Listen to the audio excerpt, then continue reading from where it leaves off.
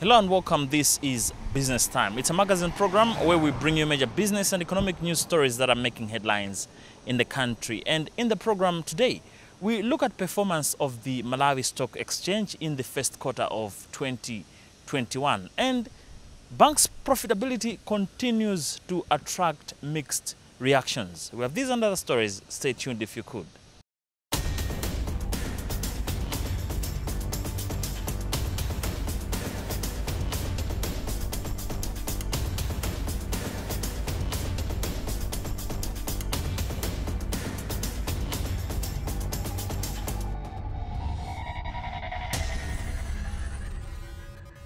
Hello and welcome. In our main story in the program today, the Malawi Stock Exchange started the year 2021 on a relatively low note, registering a drop in both uh, traded volume and value in the quarter under review.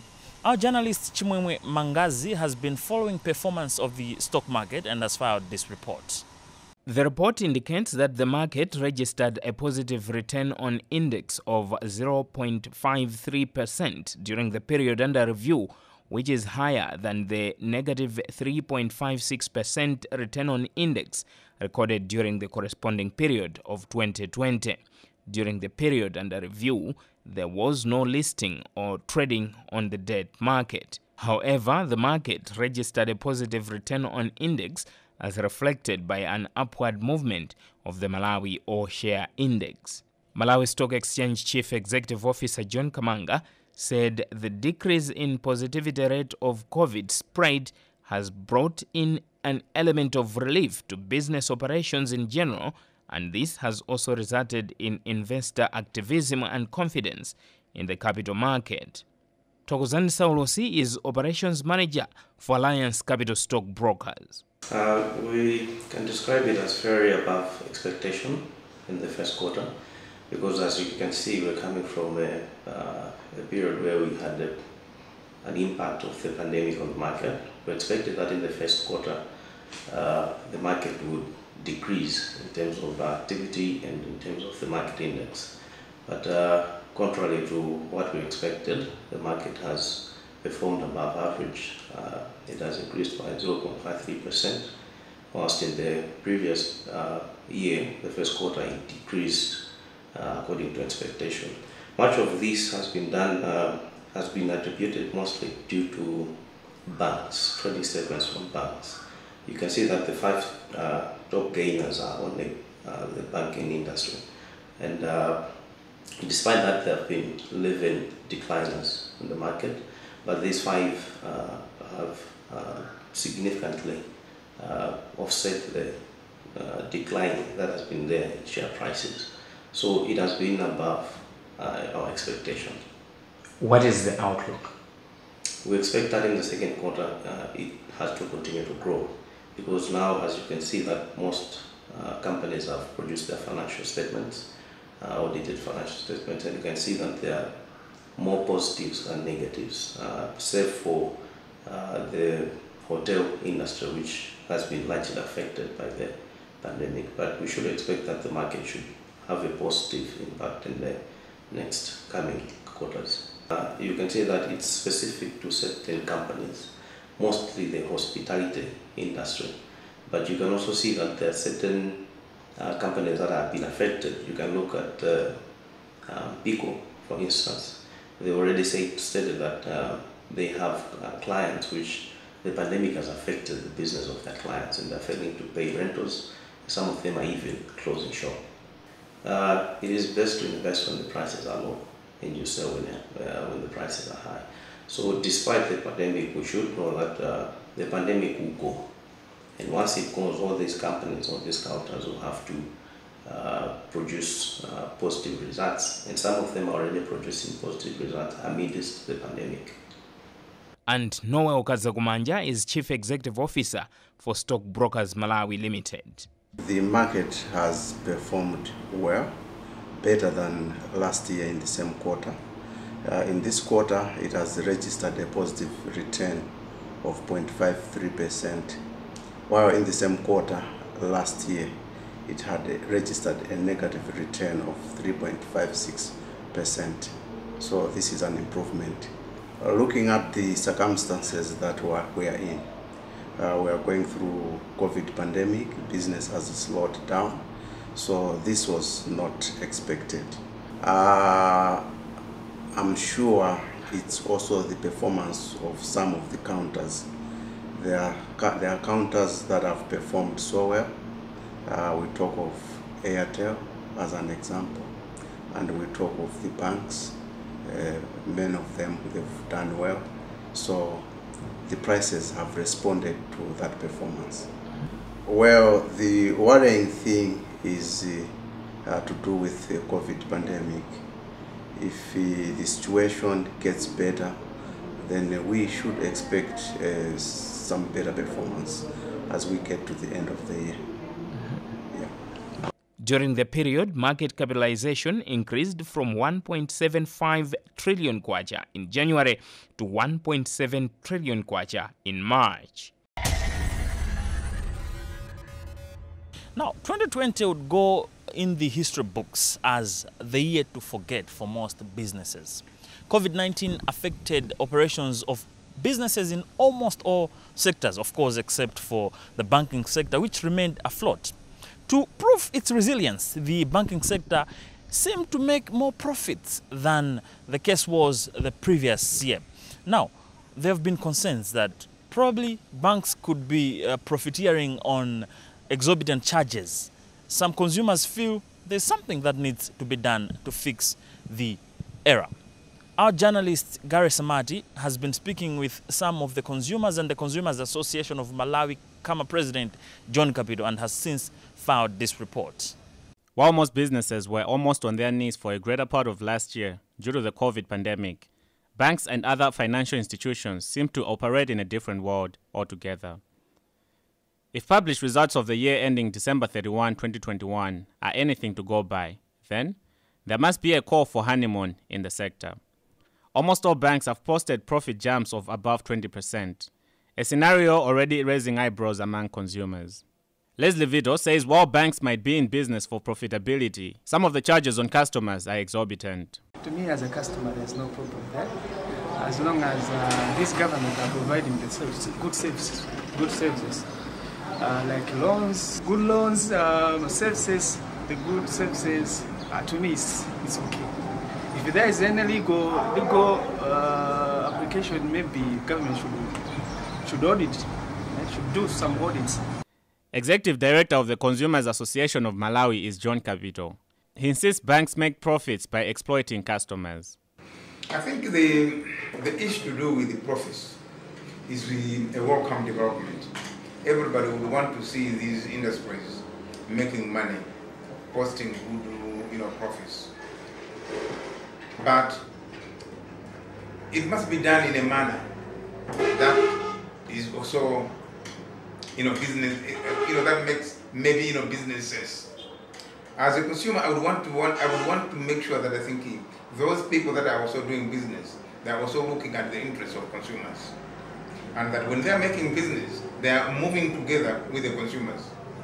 But unfortunately, what we, uh, the, the, the, the actual, you know, you know, topic that you're raising now regarding the banks is coming at a time when we know that the whole economy is on the huge stress.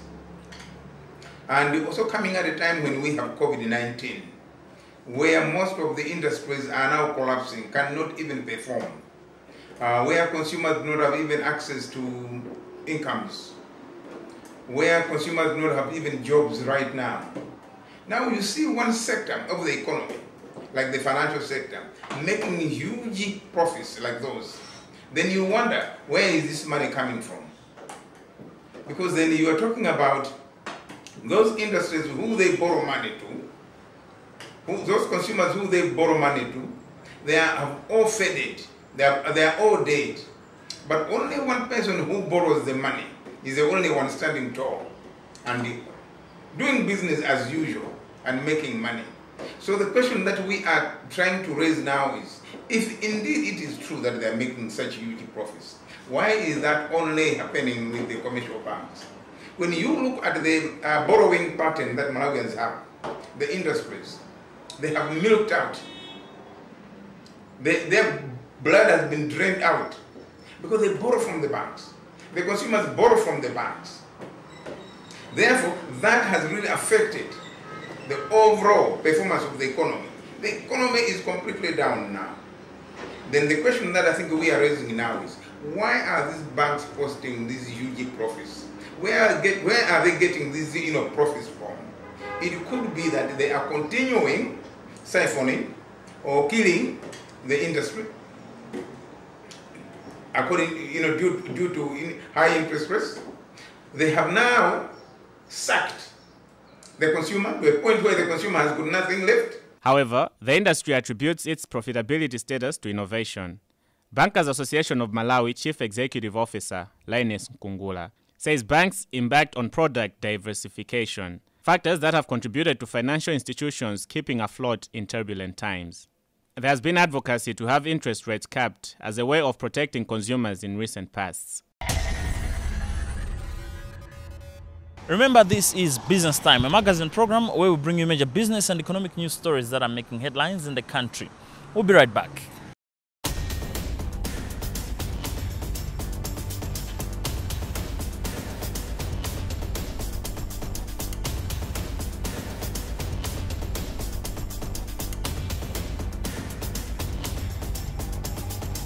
Welcome back. This is Business Time, a magazine program where we bring you major business and economic news stories that are making headlines in the country. Moving on with the program. About two weeks ago, the Ministry of Agriculture announced farm gate prices for various commodities in the country. Maize, for instance, has been set at a minimum price of 150 kwacha per kilogram. However, this has attracted mixed reactions from various stakeholders, and farmers say they were not consulted. Now, what is at stake? This is a question our journalist attempts in this report. Agriculture Minister Lobin Lowe announced that government has set minimum price of maize at 150 kwacha per kilogram, shelled groundnuts at 480 kwacha per kg, polished rice at 600 kwacha per kg, 320 kwacha per kg for soybeans and cotton, while 510 kwacha per kg for pure beans, paprika at 850 kwacha per kg, and chilies at 770 kwacha per kg. Commenting on the prices, Legumes Development Trust Programs Coordinator Sangwani Makoko said much as they are contented with the prices of some crops, some prices need to be revised. She said groundnuts and pigeon peas, for example, they feel that government could have done better because for groundnuts, the association does not know what determined its prices because there has been a rise in prices on unshelled, but the price for shelled remains the same, yet shelled groundnuts is the one which has a lot of efforts that goes into it. The president of the Cotton Farmers Association, Dixon Gundani, shares the same sentiments that cotton prices are lower and not befitting the investment that goes into the production. He says that last year's prices were higher than this year's, but they still sold at lower prices than the minimum price set by government, which means that this year it will be worse. The association has since called for an audience with the minister to present its members' grievances on the prices. Grain Traders and Processors Association of Malawi chairperson Grace Mhango believes many associations, including themselves, were not consulted because the prices do not reflect what is on the ground. Mhango said government should consult every stakeholder again because for some of the prices, such as soybeans, they have killed their markets internationally, and even for maize, farmers will not benefit compared to last year. Ministry of Agriculture spokesperson Gracian Lungu says the prices came after a wider consultation. Whenever we would like to set up the farm gate prices, we invite the stakeholders, but uh, we do not invite everyone. What we do is that we just uh, invite the representatives from each and every category. If you are looking at the farmers, we do get the representation from uh, Union of Malawi. At the same time, if you're looking at uh, the cotton farmers, we also invited them through their president. He attended the consultations. If you look at uh, these other stakeholders, the civil society organizations, they were represented by their leadership. So it's like we do not get anyone. What we do is just to get the representation of those people. And since now these people they do have some meetings, they agree there that uh, our price is this one. They make propositions. But when the propositions come on the table where we are now deciding on what the price what the price should be, uh, that's when now we look at uh, all the factors uh, like if it's a farmer, how much is the farmer uh, uh, uh, using to produce like one kilogram of maize? If it's about corn, if it's about uh, soya beans. So we look at those factors. Then we consider the uh, market, uh, uh, the prices on the market. If you look at maize, uh, what was the previous uh, price in the previous years? And what about uh, uh, uh, uh, uh, cotton? What were the prices in the previous years? And what about on the international market? What are the prices? If you look at the, the factors, we say that like on the market, what are the prices on the market so that we can also factor in all these uh, uh, factors. He adds that government, through the Ministry of Agriculture, is still consulting different stakeholders on the issue. He warned that they are working with different security agents to bring to book anyone who will be duping farmers. We have engaged the uh, Malawi police and uh, we have even started some sensitization campaigns uh, to make sure that uh, the church leaders look at the political leaders, even the chiefs themselves in the villages, they uh, have to be aware of what government wants to do in regards to uh, enforcement of the farm gate prices. So we'll still work hand in hand with these other stakeholders to make sure that uh, those who are buying in the rural areas, they are having the licenses. The licenses is something that will compel them to make sure that uh, they are complying with the uh, set, uh, set farm gate prices if they see the farmers themselves see that uh, someone is buying at a low price as compared to the farm gate price, they have to report to the police. They have to report to the uh, uh, traditional leaders, even to us, the ministry, so that we can go uh, and check and even get confiscate the licenses which they we have given them. So this is what we are trying to do. At the same time, we wanted to empower the youth, even in the locals, that whoever is buying in the typical villages should at least make sure that uh, he gets a license from us. No big companies should go in the villages to buy, but these small scale business operators should be the ones to buy in the rural areas. Then they should seal some deals with the big companies in towns that they should have to uh, sell their produce to these uh, big uh, companies in town. President Lazarus Chakwera announced that Agricultural Development and Marketing Corporation, ADMARC, has been equipped to effectively buy from farmers. Now, moving on with the program and in other business news. Crafting of a proposed bill aimed at bringing sanity in the human resources management profession is at an advanced stage. This is according to Godwin Ngoma, who is president of the Institute of People Management in Malawi. He caught up with our journalist Justin Mkweu in this interview. That is one of our key objectives as the Institute of People Management Malawi. Uh, basically, is to professionalize our professional and be well recognized as a profession. So we are indeed pushing for the enactment of a bill um, for human resource in Malawi. Uh, currently, we have done a lot of strides. It has indeed moved. We are at a level where now the bill is uh, being taken to the committee for uh, principal secretaries. And that is close to the end of um, it being passed because when it goes to the committee of uh, principal secretaries, the next thing is they take it to the committee of um, the cabinet committee on legal affairs and the, after it passes that, then it goes to the full cabinet, and then later on it now pass, goes into parliament where they debate upon and remove it. But indeed, it is a key issue that we have at hand. Mm -hmm. What gap is this uh, uh, bill, if it materializes, going to fill uh, in the uh, human resource profession in Malawi? Uh, it is going to be a very key uh, key thing. Actually, to us, we call it a, a major groundbreaking issue. Uh, because once this has been passed, uh, it becomes a law that every professional who is doing, who is practicing HR needs to have the right qualification, not to be recognized. Uh, so what will happen is that each and every institution, the human resource part will be handled by people who really know what HR is, and they'll be bringing in a, the right thing that is supposed to be there. You and me will agree that we've got a lot of uh, organizations that are running in the in Malawi here, a lot of companies, uh, be it small or big, but uh, you see that uh, most of the people who are practicing HR are not uh, HR professionals, and hence we have a lot of issues, a lot of problems that are coming in in how HR is uh, managed or how employees are managing their work. Mhm. Now, uh, as you have said, that there are a lot of issues surrounding how employees are managed, and one of the things that mostly come out is the uh, people, uh, HR, uh, because they mostly believe that HR people they do hire and fire.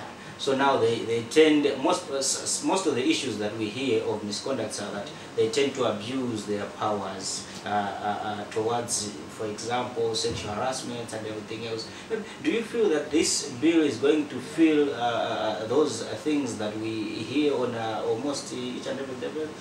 Yes, definitely. Uh, some of the things you hear are hearsay, are they generalized and they're not there, but indeed issues are there.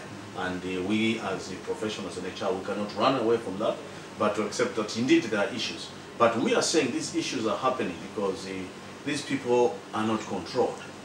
Uh, we've got no real control to control them or to discipline them because some of them are called HR, but they don't know HR and they are not our members. So when a thing happens, the voice that comes out is uh, an HR practitioner. And once you say an HR practitioner, it's HR which is uh, affected. And that's why as an institution we say, no, no, no, let's have an institution that has got a bill, has got a law uh, uh, guiding it, therefore that anyone who can do wrong can be challenged and can be rightfully uh, disciplined. Well, that interview also brings us to the end of today's edition of the program Business Time. It's a magazine program where we bring you major business and economic news stories that are making headlines in the country on behalf of the entire production team. My name is William Kumwembe. Always remember, if it doesn't make money, then it doesn't make sense. Goodbye for now and stay safe.